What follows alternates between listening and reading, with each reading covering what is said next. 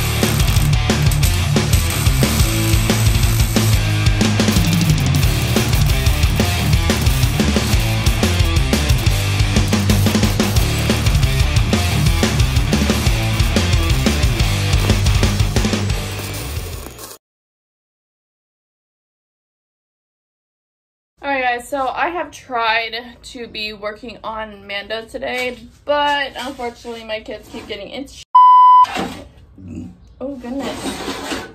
And I have to save it for next week. But this is what he looks like for now.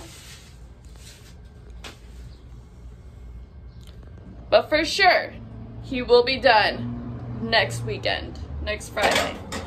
There's a lot of things that I want to do to imperfect to perfect him, like all this.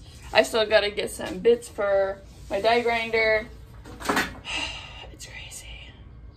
So, you guys are willing to stay till next week.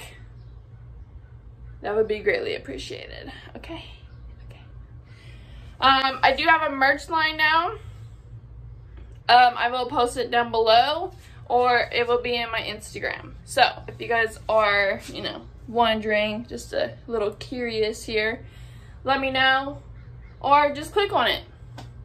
So really hope you guys like this video. Stay till next weekend. I don't know why I'm doing this a lot. But stay till next weekend. I will see you guys soon and we will have Mando or Manda done this next weekend. For sure, for sure. And hopefully I will be able to have a camera person. And this table is going to get cut in half. That way I'll have a bigger table to do a lot more shit on. So, yeah. It's a small little shop, but it is what it is, and I gotta work with what I got. That is it. Thank you guys so much for watching. Peace!